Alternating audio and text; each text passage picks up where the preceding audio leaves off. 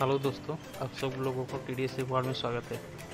तो आज के वीडियो में हम लोग देखेंगे मारुति सुजुकी का डिज़ायर का जो नया वाला वर्सन है, उसका इंजन में में क्या क्या सब पार्ट्स रहता है, जो बेसिक पार्ट्स है, जो जिसके बारे में आप लोगों को सबको जानना चाहिए।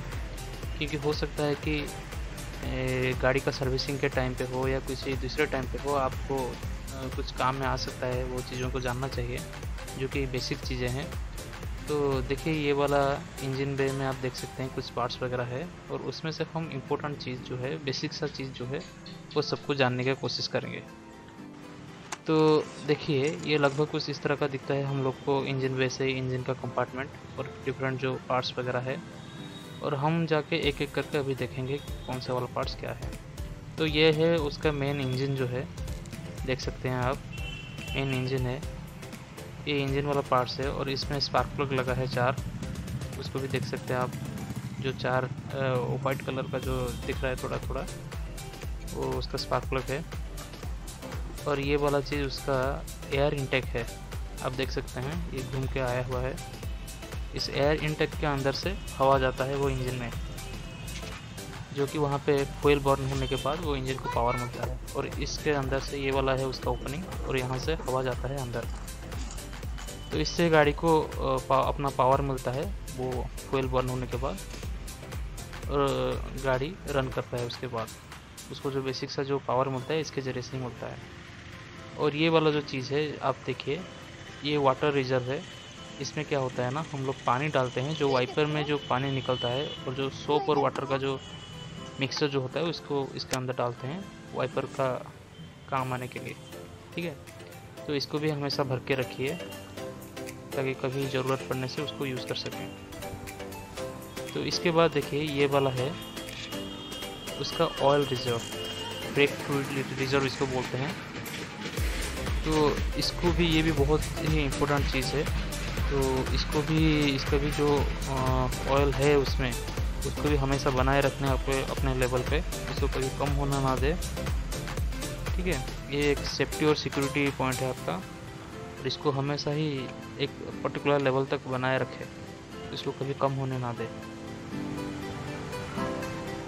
तो ये वाला है उसका ऑयल रिज़र्व और उसके बाद देखिए, अभी ये तो देख सकते हैं आप उसका इंजन का पूरा पार्ट्स हाँ ये वाला चीज़ अभी देखिए, ये है उसका गाड़ी का जो कूलेंट के लिए, गाड़ी को थोड़ा ठंडा रखने के लिए, उसको इंजन को ठंडा रखने के लिए उसका इनटेक है। जहाँ पे आप देख सकते हैं कि फ़ैन लगा है मोटर के ज़रिए। तो गाड़ी जब खड़ी रहती है, चलने के टाइम पे तो हवा तो मिल जाता है, लेकिन खड़ी रहने के टाइम पे वो गाड़ी को थोड़ा ठंडा रखने में मदद करता है। तो हमेशा देखिए कि ये इंटक से जो हवा जाता है अंदर, वो कैसे ठंडा रहेगा इंजन हर टाइम पे, उसके लिए वो मोटर को थोड़ा चेक कीजिए बीच में। और ये है उसका जो कूलांट है कूलांट का ये इंटेक है। इसके अंदर जो गाड़ी का जो एसी का वगैरह जो ठंडा करने के लिए रहता है, उसका कूलेंट इसके अंदर डाला आता है। यहाँ पे मैं आपको एक चीज़ बता रखना चाहूँगा कि गाड़ी जब ऑन कंडीशन में हो, गाड़ी का जब आप यूज़ कर रहे हो, उस टाइम पे इसको मत खोलिए, क्योंकि ये बहुत गर्म रहता है और ये स्पील होकर आपके शरीर पे पड़ सकता है, जिससे बहुत डैमेज हो सकता है। इसलिए इसके बारे में थोड़ा ख्याल रखिए। और ये है उसका बैटरी आप देख सकते हैं। इसमें एक ही बैटरी लगा हुआ होता है, बारह वोल्ट का।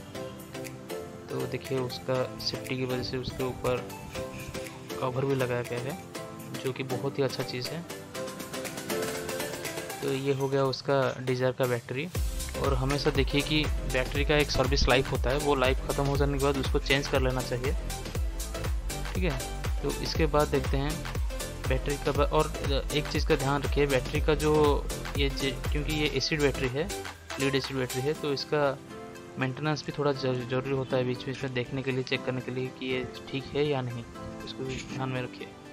और ये है उसका फ्यूज़ बॉक्स जो गाड़ी का जितना भी इलेक्ट्रिकल पार्ट्स है, उसका फ्यूज़ यहाँ पे रखा हुआ होता है। तो इसको भी थोड़ा कभी कभी ध्यान दीजिए और देखिए कि उसका सारा फ्यूज़ ठीक से है या नहीं। तो ये वाला देखिए उसके अंदर, ये देख सकते हैं आप फोर चैनल एबीएस है। ये वाला जो पार्ट्स देख रहे हैं, जो चारों पाइप लगा हुआ है, इसको बोलते हैं फोर चैनल एबीएस और यहाँ से कंट्रोल होता है गाड़ी का जो एबीएस का सिस्टम है, उसका जो सेफ्टी फीचर है, ये यहाँ से काम करता है। तो ये वाला पार्ट्स को भी थोड़ा ध्यान दीजिए, क्योंकि ये सेफ्टी वाला पार्ट्स है। और मेंटेनेंस के टाइम पे ये सब कुछ चेक करना चाहिए एक बार। तो ये वाला देखिए, उसका जो चारों नली टाइप का जो है, कफल प्लेट इसको बोलते हैं। कफल ये पाइप भी जो है, देख सकते हैं आप उसको। यहाँ से उसका एग्जस्ट जाता है बाहर। गाड़ी का जो एग्जस्ट है, वो बाहर जाता है। ठीक है? और ये वाला, उसका तो मेन इंजन है, देख सकते हैं। कास्ट आयरन का बना हुआ और ऊपर का कुछ पार्ट्स एलुमिनियम के बना हुआ। और यहाँ पे उसका एक मोटर लगा हुआ है, जो शायद उसका, मुझे तो ठीक से पता नहीं है। अगर आप लोगों को मालूम होगा तो कमेंट सेक्शन में लिखिए ये कौन सा टाइप का मोटर है। मुझे जितना तक मालूम है कि ये शायद वो जो गाड़ी स्टार्ट करने के टाइम पे उसको जनरेटर जनरेटर जैसा कुछ काम करने के लिए शायद होगा वो। लेकिन मुझे मैं श्योर नहीं हूँ उसके बारे में। तो अभी देखिए, ये वाला है उसका कास्ट आयरन वाला पोर्शन जो इंजन का मेन पोर्शन होता है। और ये वाला अभी देखिए, ये वाला जो है उसका, गाड़ी का गियर बॉक्स यहाँ से कनेक्टेड होता है। और जो स्टीयरिंग व्हील जो है स्टीयरिंग व्हील भी यहाँ से, इसका जो कास्टर रन वाला पोर्शन देख सकते हैं, यहाँ से व्हील लगा हुआ होता है और व्हील को मूवमेंट करने के लिए एक रॉड भी यहाँ से लगा हुआ है। बोथ गियर बॉक्स और स्टीयरिंग का जो रॉड है, यहाँ पे कनेक्टेड है और कुछ इलेक्ट्रिकल कनेक्शन है वगैरह जो गाड़ी का स्टेटस जानने के लिए यूज़ होता है। उसका पावर स्टीयरिंग वगैरह को इंफॉर्मेशन मिलने के लिए। तो यहाँ नीचे भी देख सकते हैं आप एक्सेल का है। और एक्सेल के साथ एक रॉड कनेक्शन हम देख सकते हैं इधर से बहुत ही क्लियरली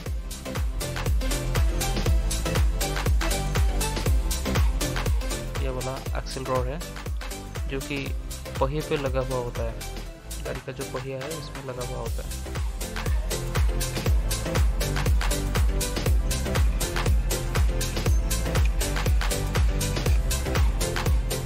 चलिए देखते हैं कुछ दूसरा पार्ट्स वगैरह और क्या क्या सब है इसमें। ये वाला देखिए, ये एक नॉच दिया गया है यहाँ पे। ये जो गाड़ी का जो आपका इंजन का बे है, उसको ढकने के बाद एक लॉकिंग मेकानिज़म है। यहाँ से वो लॉक लग जाता है और गाड़ी को खोलने के टाइम पे आप देख सकते हैं इसको कैसे, बस इस तरह का करने से वो खुल जाएगा। और वो ऑटोमेटिकली गाड़ी का जो बोनेट है, उसको डालने के बाद वो ऑटोमेटिकली लॉक हो जाता है। उसका वो लॉकिंग मेकानिज़म है। और ये भी आप देख सकते हैं इसमें स्प्रिंग लगा हुआ है और ये कैसे काम करता है। आप देखिए तो उसके बाद चलिए देखते हैं। इस तरफ़ कुछ कुछ पार्ट्स वगैरह भी है। आप कोशिश कीजिए देखने के लिए, मैं कोशिश करता हूँ आपको आप सब लोगों को दिखाने के लिए, इसके अंदर भी बहुत सारे पार्ट्स है। जो कि लेदर बेल्ट के साथ लगा हुआ है मूवमेंट के लिए। वो भी शायद कुछ टाइप का मोटर लगा है, जैसे कि मैं पहले से बोला। और ये वाला देखिए, ये इंजन ऑयल डालने के लिए ये उसका इंटेक वाला पोर्शन है। यहाँ से आप उसका गाड़ी का जो इंजन ऑयल है, भरने के टाइम पे यहाँ से भर सकते हैं। इसको खोल के इसमें इंजन ऑयल डाल सकते हैं। और ये वाला बहुत ही इंपॉर्टेंट चीज़ है, आप लोग को जान रखना चाहिए। क्योंकि हो सकता है कि बीच बीच में आपको इंजन ऑयल जब चेंज करने का टाइम आए तो यहाँ से आप इंजन ऑयल को डाल सकते हैं और पुराना वाला इंजन ऑयल नीचे का जो आउटलेट पोर्शन है, वहाँ से निकल के निकाल सकते हैं उसको। तो ये था कुछ इम्पोर्टेंट पार्ट्स वगैरह। और ये देखिए, ये वाला जो येलो वाला चीज़ है, इसको निकाल कर आप देख सकते हैं कि इंजन ऑयल कहाँ तक है, उसके वो लेवलर है उसका। इसको उठा कर आप देख सकते हैं कि इंजन ऑयल ये फ़िलहाल थोड़ा टाइट है, निकल नहीं रहा है। लेकिन इसको निकाल के आप देख सकते हैं कि इंजन ऑयल को चेक कर सकते हैं कहाँ तक है।